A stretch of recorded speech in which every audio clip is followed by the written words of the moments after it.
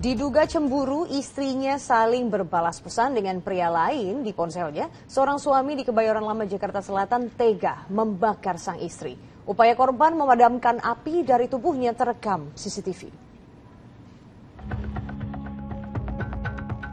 Kamera CCTV sebuah masjid di Jalan Haryono, Kebayoran Lama, Jakarta Selatan merekam detik-detik saat seorang ibu rumah tangga dengan tubuh terbakar berlari.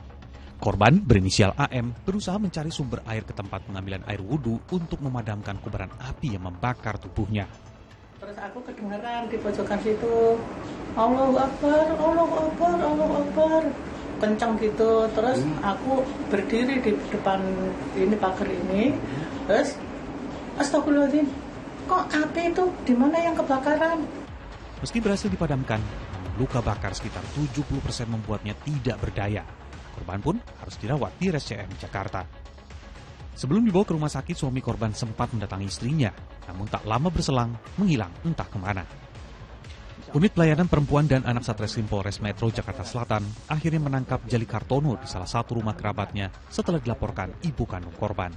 Atau pelaku ini melihat ada chatting di handphone si istri yang mana ada chatting istri dengan pria idaman lain sehingga merasa cemburu untuk mempertanggungjawabkan perbuatannya tersangka dijerat Undang-Undang tentang Kekerasan dalam Rumah Tangga dengan ancaman hukuman 10 tahun penjara.